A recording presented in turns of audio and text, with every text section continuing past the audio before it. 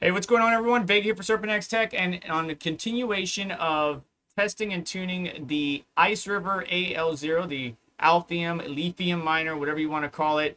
I wanted to showcase and tell you all about my experience and where am I seeing like some inconsistencies, maybe some diminishing returns, so on and so forth. So that's what this video is all about. Let's just get right into it and talk about what I'm seeing, where my clocks are, and some of the problems that I'm also seeing with this particular miner as we move forward. And after a couple days of testing, I've seemed to get close to almost breaking that 600 gigahash area. Not quite yet.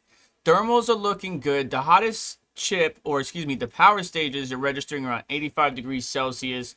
The hottest chip is 64 degrees. We're sitting around 843 on the clocks and about 382, 380 on the chip voltage. You can see in the top right, we're ranging anywhere between 395 on board uh, 1 max, but the average is 386, the min of 381. So somewhere in that 380 range.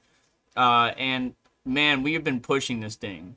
We have been pushing this thing. The five minutes almost at 600 gigahash, 30 minute 561, two hour 549. This is after overnight settling in and our clocks here are on the offset 220, on the voltage offset 55. And you can see my fans, I, I want the small fans to aid in keeping this guy pretty cool because I do not want to, uh, well, kill this device, right? You know, thermals and voltage is what degrades performance on chips.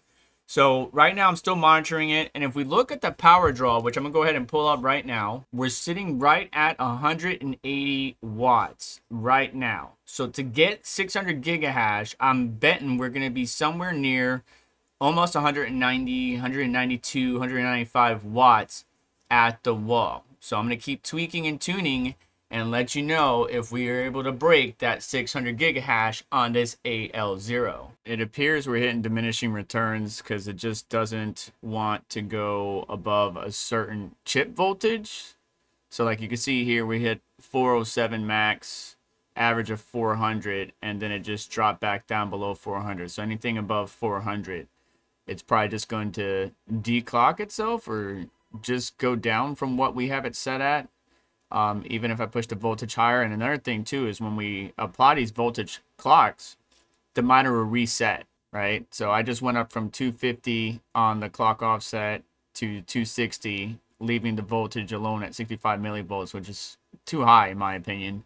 But just trying to see if we are able to crest that 600 gigahash.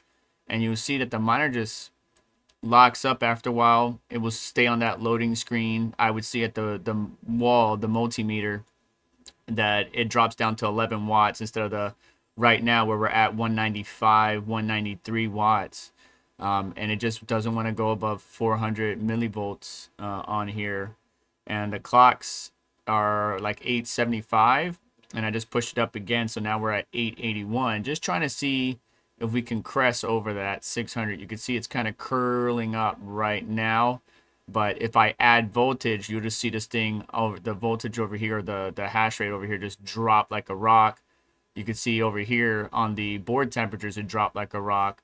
So whenever it does this huge drop, that usually means the miner is going to crash. I'm going to give it some time and stabilize. But after you set the clocks, when you're pushing above where we are right now, uh, previously, so 195 megahertz is what I'd like. Uh, I'll tell you my exact settings that I personally like for my device in, uh, in a minute, but anything above 200 megahertz core offset and voltage wise 40 millivolts uh, offset, it just seems to lock up. And so your best bet is to set it, give it a few minutes, and then power reboot, and then let it ramp back up to where you had it set at and see if it goes any higher. 86C was the highest in the power stages temperature wise. But yeah, it seems we're hitting diminishing returns and obviously pushing this thing beyond its efficiency. And even after some more hours of testing, it definitely seems like we're just anything above, you know, the voltage of 400 or above the clocks of 800, it just diminishing returns. We're not getting any better. Our hash rate has gotten further away from 600 gigahash than we were previously. So I'm probably going to step it down. But I did push it up even higher. The clock offset to 275, the voltage offset to 70. But we're really pushing this thing.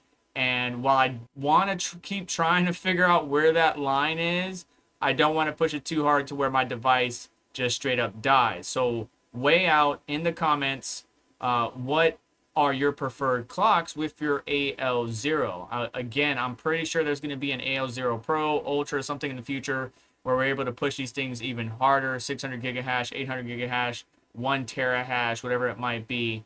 But right now, with this AL0 and what I've showed you so far, we're just hitting diminishing returns and there's really no point. And by the way, we are hitting around 206 uh, watts at the wall measured with the current clocks or configuration of 275 offset on the clocks and 70 millivolts offset on the voltage. While we have the thermal headroom, like our hottest chip uh, is 69, or at least that's the hottest it hit, average is around 65, and our uh, power stages are hitting 93. And you know, on like the Kaspa uh, 8 uh, Ultra, like we can do 93 all day. It's no problem, but it just seems on the AL0 not so much. So I'm going to leave it here. You let me know what your thoughts are. And do me a favor on the way out. Hit the like button. Make sure to get subscribed, hit notification bell to stay up to date as well. Check out some of the additional links in the description to help support the channel and what we do here. And you just have yourself a wonderful day. Take care. I'll catch you in the next one.